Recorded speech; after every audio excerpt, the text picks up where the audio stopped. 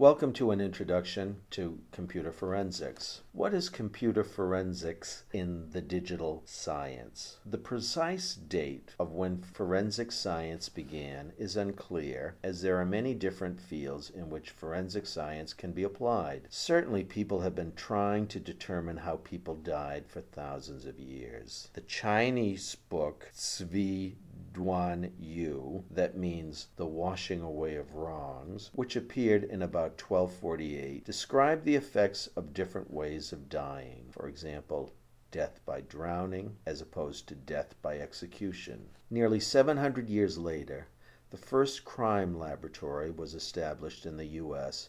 by the Los Angeles Sheriff Department in 1930. Although forensic science has been evolving for many centuries, digital forensics is a relatively new development. To call something a science, it has to study, describe, and investigate phenomena in its field. A key aspect of this is that new knowledge generated by a study and investigation has to be repeatable. A complex investigation can have many opportunities for error or misinterpretation. In the digital forensics field, tools and techniques are often reviewed, but it is not uncommon for the findings that are presented in court cases to be the work of a single investigator and therefore unverified. There are three main aspects of the scientific process that need to be highlighted because they are very relevant for computer forensics. The first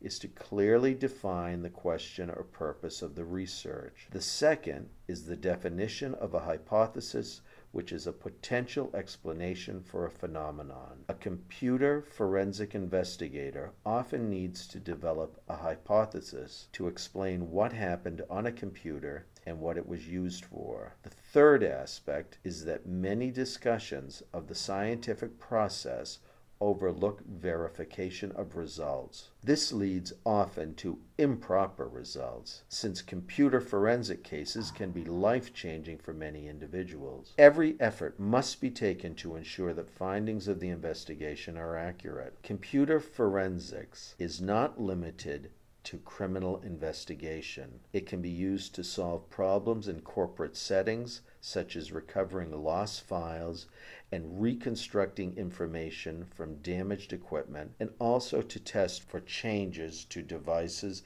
Malware and botnet research are often areas that use digital forensics, particularly when trying to determine impacts. The steps to handle digital evidence are described now in short. Identification to identify and mark relevant things that could possibly be evidence. Preservation to store possible evidence. Collection to summarize all evidence relevant for one case. Examination to investigate and get an overview of possible evidence. Analysis to process the examination results.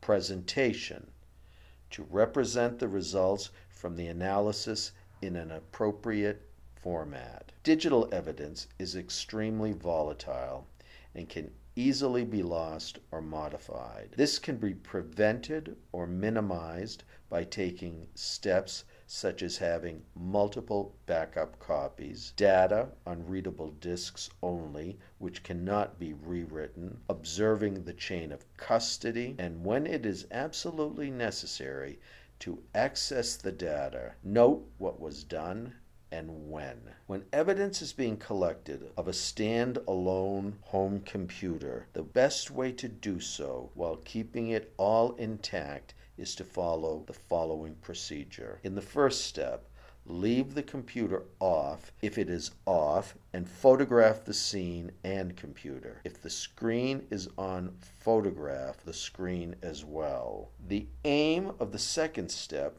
is to collect any live data like RAM and network connections.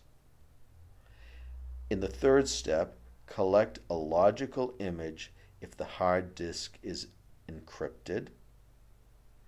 The fourth step is about unplugging the computer by removing the plug from the tower, removing the battery, label all cords, and document the device model and serial numbers.